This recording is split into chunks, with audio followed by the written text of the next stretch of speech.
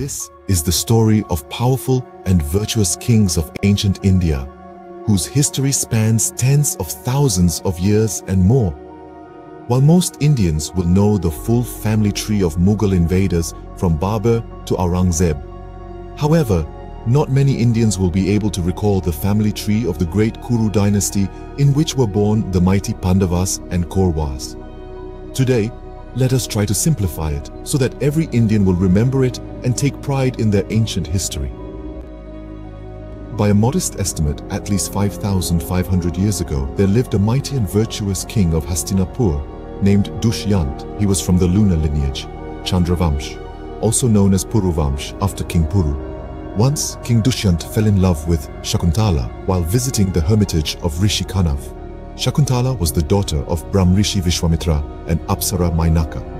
Before ascending to heavens, when Mainaka left her daughter on the riverfront, the baby was surrounded and protected by Shakunt birds, hence named as Shakuntala. She was adopted by Rishi Kanav. Shakuntala gave birth to a boy who was so mighty since childhood that he would tame the wildest of animals in the forest and even count teeth of the tiger.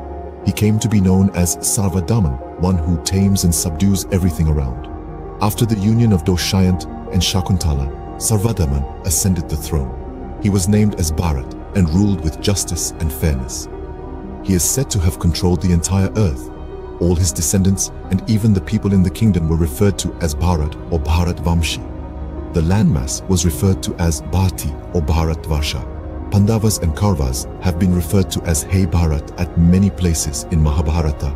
Today, any Indian in the world can be called as Bharat meaning from the Bharat Vamsha. After some generations of Bharat, King Kuru was born in this Chandra Vamsh, and thereafter the lineage was called as Kuru Vamsh. In this generation was born King Pratip. King Pratip had a calm son, Shantputra, hence named as Shantanu. Shantanu married Ganga and Devrat was born. After Ganga left Shantanu, he wanted to marry Satyavati from the Nishad clan. Her father agreed marriage if Devrat promises to never become a king and his sons should never claim to be kings. Devrata took a strong vow that he will never ever marry and maintain celibacy his entire life. Due to this vow, Devrat was now called as Bhishma. So accordingly, after the marriage of Shantanu and Satyavati, her son Chitra Angad ascended the throne but died.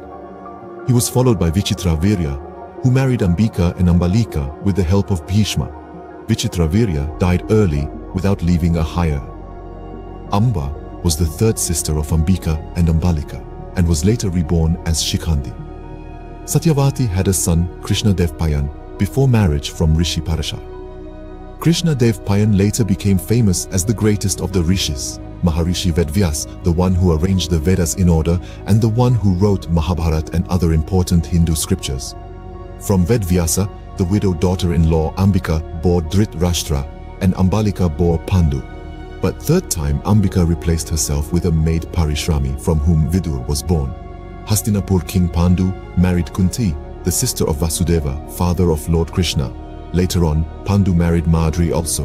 Kunti gave birth to Yudhishthira, Bhima and Arjuna, while Madri gave birth to Nakula and Sahdeva. These five were known as Pandavas, the sons of Pandu. They all were highly educated in Vedas and scriptures and commanded powerful celestial weapons. Dhritarashtra married Gandhar Princess Gandhari along with her 10 other sisters on the same day.